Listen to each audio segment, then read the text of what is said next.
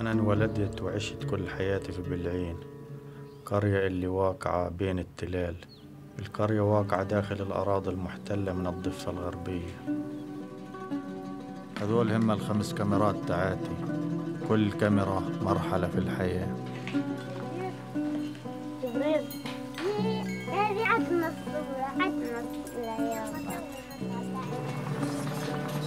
في مرة إجا مهندس إسرائيلي عمل كيسات عشان يبنوا جدار فاصل وسط أرضنا.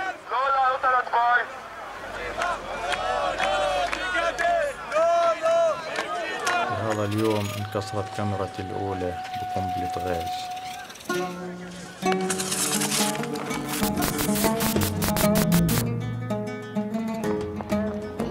لما بصير إشي في القرية.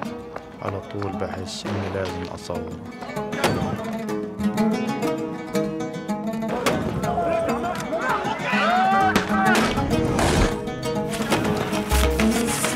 آه عماد شوفت شو بيصير فينا من ورا حق التصوير من ورا شغل الشغلات شوفت